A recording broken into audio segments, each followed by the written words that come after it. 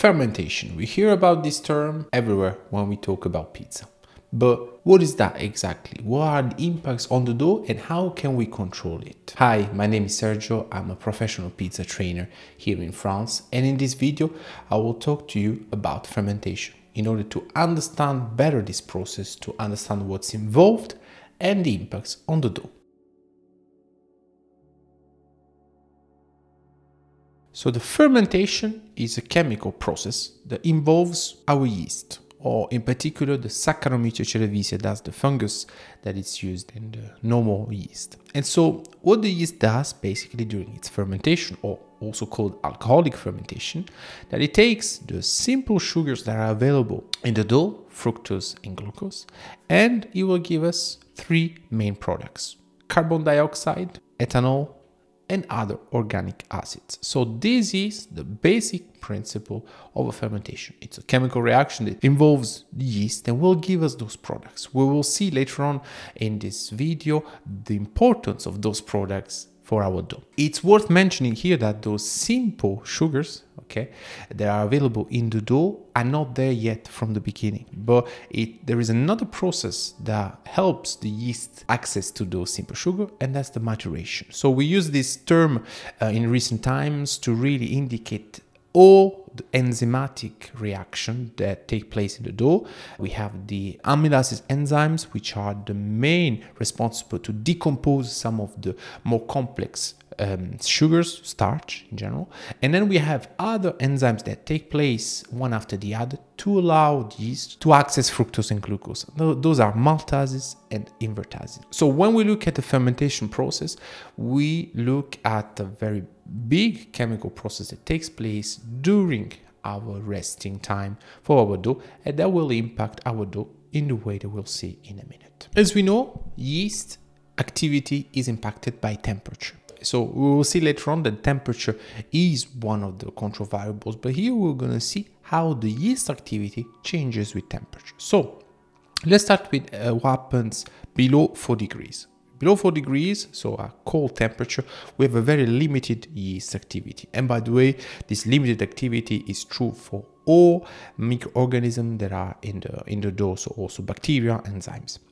Once we go above 4 degrees and below 35 degrees, here, the activity of the yeast increases proportionally to the temperature. In other words, the warmer the temperature of the dough, the higher the activity of the yeast, and so the higher the intensity of the fermentation. After 35 degrees and up to 50 degrees, we have a reduction in the activity of the yeast, and then we get to around 55 to 60 degrees, and that's when we are in the baking stage, we have the death of the yeast cell. For the fermentation, we will of course focus in this area, in this range, between 4 and 35 degrees. This is generally either the room temperature or a cold fermentation in the fridge, which is usually between 4 and 6 degrees. But in any case, this here is the range for our dough fermentation.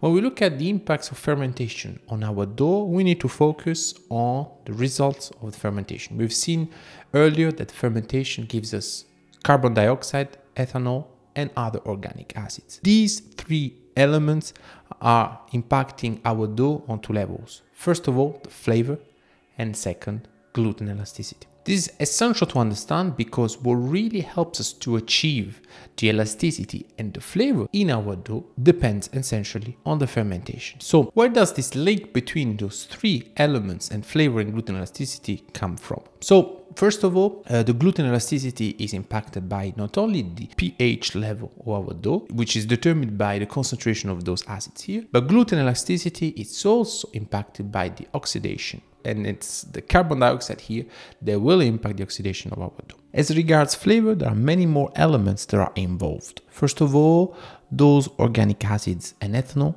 but there are also other compounds that are released as part of the yeast metabolism, like esters and even other products that will react during baking in order to increase the flavor of our dough. So a very intricate network of reactions that are in any case all linked to the fermentation process. Now that we've seen what are the impacts on the dough, we need to ask ourselves, where is it that the fermentation will impact exactly our dough? So here let's look at the fermentation stages. Those are the stages where effectively all of those concepts that we have analyzed right now take place. And so that's when we are changing the properties of our dough from a flavor and elasticity point of view. So first of all, we have in case of an indirect dough, the fermentation of our pre-fermented dough, whether it's a biga or a poolish preparation, we will have a proofing time during which we're gonna have fermentation, so yeast activity, and that yeast activity will impact uh, the, the elasticity and the flavor of our dough. Next, we have bulk fermentation, often by itself in a direct dough. Bulk fermentation will have an important role in gluten elasticity, but also in flavor improvement, especially if we're doing a direct dough and we don't have a pre-fermentation before that. As regards to final proofing, its impact is important on the gluten elasticity, but a bit less on the gluten flavor. So here are all those three fermentation stages and whether we're doing a direct or an indirect dough, those stages will have a different impact on our dough. Let's look at more into details on how those fermentation stages impact our gluten. But to better understand this relation between fermentation and gluten elasticity, we need to look at the elastic properties of gluten. And those are two, extensibility and tenacity. Extensibility is the elastic property of gluten to be easily stretched. On the other hand, tenacity can be measured as the strength, as the force of the gluten and its resistance to stretching. So basically, in a pizza dough, we always need to achieve a balance between extensibility and tenacity. This is the key concept where we talk about gluten elasticity. So what happens is that during those fermentation stages, this balance will change and it will change in the right direction if we correctly manage each of those stages. In particular, fermentation of the pre-fermented dough and bulk fermentation will impact tenacity. Final proofing, on the other hand, will impact extensibility. And so when we think about Neapolitan pizza, but in general, all dough, we need to make sure that we manage correctly each of those stages so that the gluten reaches the balance that we need for our final product. Fermentation and gluten are strongly connected together. Why is that? It's because as we saw earlier, fermentation impacts gluten elasticity. So what we're saying is that the fermentation process as it creates carbon dioxide and other uh, chemical compounds that will impact the gluten elasticity. What's interesting to understand here is that gluten elasticity impacts on its own a number of important parameters in our final result. Stretching, lightness, crust development, all those parameters depend of course on the gluten elasticity. Depending on what kind of gluten we have and that balance between extensibility and tenacity, we'll have a dough that maybe it's easier or harder to stretch, that will have a light crumb or have uh, maybe developed or not crust. Anyway, all of those parameters depend on the gluten elasticity. But what we saw just right now is that gluten elasticity depends on the fermentation process.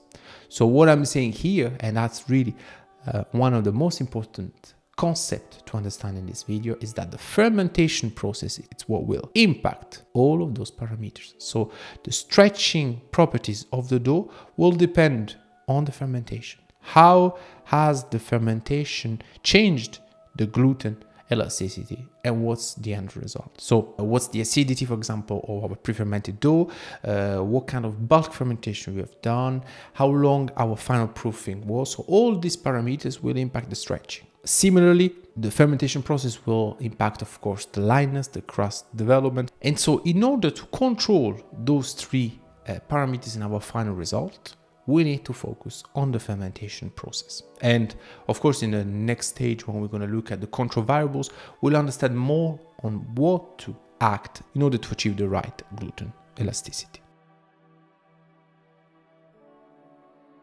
So what are the control variables, those variables that will allow us to manage and control the fermentation process? So first of all, the fermentation process will always be impacted by the dough temperature. And specifically here, I'm talking about the temperature at the end of kneading. Of course, the dough temperature will evolve and that will um, depend on our second control variables, the proofing temperature. But at the end of kneading, we have an important role to choose the right dough temperature so that the fermentation goes in the direction that we want. Let's make some real examples to better understand the impact of dough temperature. Let's say I'm preparing a pre-fermented dough like a biga and that fermentation will happen in the fridge at 4 to 6 degrees. It's very important to choose the dough temperature at the end of the kneading process for my pre-fermented dough a bit higher than normal so that the fermentation can correctly start. That's a similar scenario if, for example, we're doing a bulk fermentation again at cold temperature. And so the dough temperature that we're choosing at the end of kneading will help us achieve a correct fermentation. In all those cases, the temperature of the dough at the end of kneading needs to be chosen according to our fermentation. And of course, um, during the rest of the proofing time, the proofing temperature will be the second control variables. The way we choose proofing temperature is to make sure that within the time that we've chosen for our recipe, our dough will complete the fermentation. And that can be true for pre-fermented dough, bulk fermentation, or final proofing. Once we fix the time, which is dictated by our organization, we will choose accordingly the proofing temperature reminding ourselves the key equation that dictates the dough. The higher the proofing temperature, the shorter the fermentation time, because the more intense the fermentation will be. On the other hand, the lower the proofing temperature, so generally in the fridge at 4 to 6 degrees, the longer the proofing time, as the fermentation it's less intense. And last but not least, we have the quantity of yeast. Of course, the more yeast we're going to use in our recipe, the more important will, the fermentation will be. So generally, certain products that need a specific level of elasticity, like Neapolitan pizza, will use not a lot of yeast because we want to keep the fermentation under control throughout the recipe. So those are the three control variables that we can use in our recipe to keep the fermentation in the direction that we want. Let's now look at three examples of fermentation. We're going to look at the first two, which are examples of bad fermentation, where the control variables have not been uh, managed properly. And the third example will be a well managed fermentation, which will give us a nice result. And all of those three examples are Neapolitan pizza. For the first example, we're looking at this Neapolitan pizza realized with a direct dough. The major problem of this pizza is the short fermentation. The elasticity and the texture improvement to the dough that the fermentation brings didn't have the time to happen, as the fermentation was below 5 hours. The result is that the crust is quite dense and not very light. In this example, the bulk fermentation was too short to allow the dough to develop the elasticity to give us a light result. Another interesting aspect to analyze is the crust coloring. As you can see, the crust has an homogeneous coloring, sign that the amount of sugars was quite high, given that the fermentation consumed very little of them. The second example is again a Neapolitan pizza with an incorrect fermentation. As you can see, the dough is already quite elastic during stretching, and after baking, the pizza shrinked and exhibit a developed but very dense crust. These are all the signs of a gluten that has not enough extensibility due to the incorrect fermentation. In particular here, the final proofing, which is essential to bring extensibility to our dough, was too short for this kind of recipe. The final proofing time was in fact just over 4 hours at room temperature of around 25 degrees. The last example is a Neapolitan pizza with a balanced fermentation. We have a dough that is very easy to stretch, showing good extensibility, and after baking, the pizza hasn't shrinked and on the contrary, it shows a very good development of the crust with a light and low density crumb. Coloring of the crust is excellent, showing that typical leopard effect linked to a balanced fermentation. This result was achieved with the direct dough method with a 48 hour total fermentation time. Both the bulk fermentation and the final proofing followed a cold fermentation in the fridge. And this is, by the way, one of the dough recipes for Neapolitan pizza that you can learn in my training. We've come to the end of the technical analysis of fermentation. I really hope this video helped you better understand the theoretical and technical aspects behind fermentation. I strongly believe that understanding those theoretical notions is the first step towards mastering your dough. If you feel the need to go more into details about fermentation for your dough, I strongly recommend you look at my pizza training. All the information are here in the description. In this training, you will learn a methodology to master your dough and to reach quality, consistency, and regularity. All of that with a technical and scientific approach, just like you saw in this video. The training will touch upon all the aspects of dough, including fermentation, and I will show you in a personalized way how to make sure all the variables are controlled correctly and how to get to a well fermented dough. I'm Sergio, I'm a professional pizza trainer, and thanks for watching. Ciao e buona pizza!